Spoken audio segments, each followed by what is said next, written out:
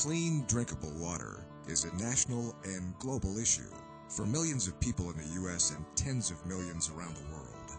Arsenic contamination is a health threatening reality. The EPA recently revised drinking water standards for arsenic down to 10 parts per billion, leaving 4,000 municipalities and nearly 14 million private homeowners at risk.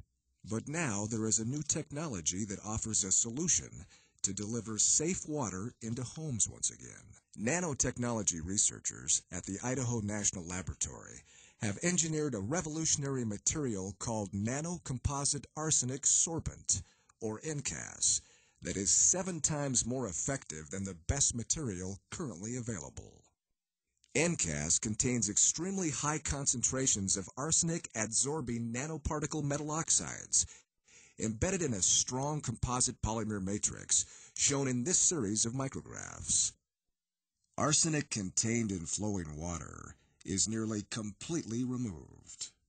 The reaction kinetics, strength, and the extreme surface area of this material set it apart from all existing arsenic removal technologies.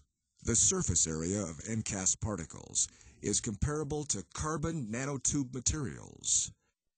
One gram of NCAS contains 40% more surface area than the square footage of the average American home.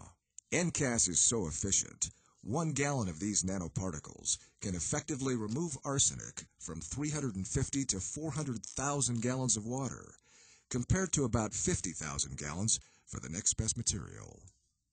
It also lasts much longer and is strong enough to be regenerated 100 times more than the most durable material in use today. Beyond being extremely effective, NCAS is also affordable, costing about 10 cents to treat a thousand gallons of water, one fifth the cost of current treatment technologies. Arsenic contamination is a global problem, causing skin lesions, disease, and needless suffering throughout the world.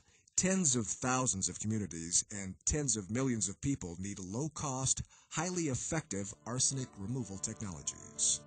INL's NCAS nanomaterial offers an affordable arsenic treatment solution that can bring cleaner water to consumers here in the U.S. and around the globe.